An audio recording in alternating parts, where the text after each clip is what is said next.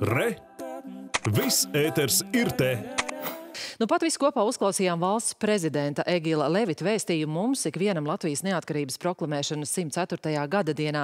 Bet valsts dzimšanas dienas svinības sākās, kad tik tikko bija aususi rīta gaisma. Tādēļ atskatīsimies uz šo notikumiem un emocijām pārpilno dienu 18. novembri visi kopā. Vērienīgāka nekā citus gadus un ar īpašu deksmi. Tāda bija militārā parāda 11. novembra Krasmalā Rīgā. Cik gatavi sargāt mūsu un mūsu zemi ir ne tikai Latvijas, bet arī sabiedroto spēki klātienē vēroja tūkstošiem cilvēku. Daudz uzmanības kā alleži izpelnījās bruņu mašīnas, iznīcinātāji, helikopteri, taču Nacionālo bruņoto spēku komandieri Leonīdu Kalniņu šogad īpaši saviļņoja karavīru stāju un deksmi. Un šoreiz parādē ierindā bija arī Ukrainas karogs draugs un Ukrainas karavīri. Plašāk stāsta Dāvids Freidenfelds. Parādē piedalījās karavīri, zemesargi, policisti, robežsargi, sabiedroties spēki un vēl citi. Krastmalā parāds gājienā kopumā devās aptuveni 1500 cilvēku.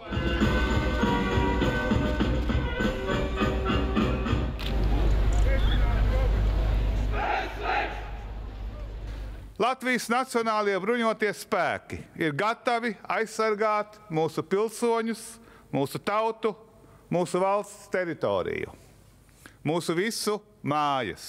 Jau parādas sākumā vislielāko uzmanību sev pievērsa parādas gājiena noslēdzēji NATO paplašinātās klātbūtnes kaujas grupas Latvijā Itālijas karavīri, kuru tērps un spēka prezentācijas veids stipri atšķīrās no pārējiem. Parādas otrajā pusē tika parādīta tehnika. Lidojumus veica gaisa spēku lidmašīnas AN-2. Valsts robežsardzes helikopteru un iespējams interesantākais Air Baltica lidmašīna Airbus, kuru pavadīja divi Ungārijas un divi Vācijas iznīcinātāji, kuri veic patrulēšanu NATO gaisa telpā virs Baltijas. Nacionālo bruņoto spēku tehniku parādīja sauzemes spēku mehanizētā kājnieku brigāde, kaujas izlūkošanas kāpurķiežu bruņtehnikas saima ar kaujas bruņmašīnām transportieriem. Parādē brauca nesen iegūtās patrija bruņmašīnas, kas īpaši piemērotas Latvijas apstākļiem un veikli spēja pārvarēt arī Latvijas purvus.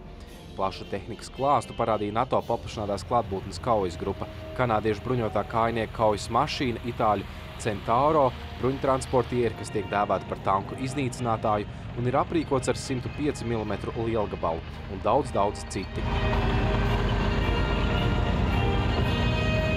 Pēc parādas noslēguma bruņoto spēku komandieris atzina, ka šī bija lielāka parāda nekā iepriekšējos gados. Mēs joprojām esam emocijām pilns, tāpēc, ka man ir milzīgs prieks, ka mēs mazu daļiņu varējām parādīt mūsu Latvijas sabiedrībai, cik lielā mērā mēs esam gatavi nosargāt to drošību, kas ir absolūti nepieciešama mūsu tautai.